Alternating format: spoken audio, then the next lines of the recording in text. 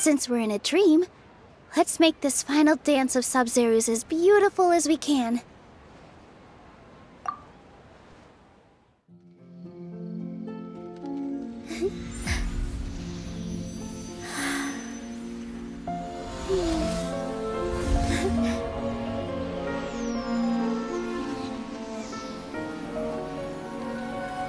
The wait is over, everyone. I dedicate this to our god, the Dance of Sabzeruz.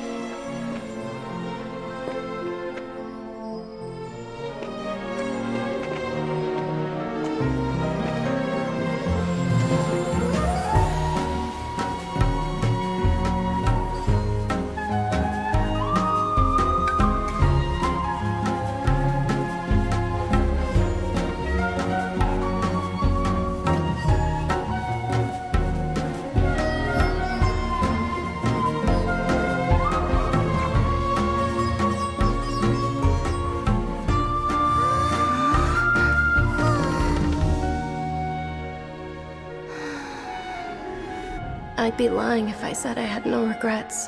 I would have loved to see Nilou's dance.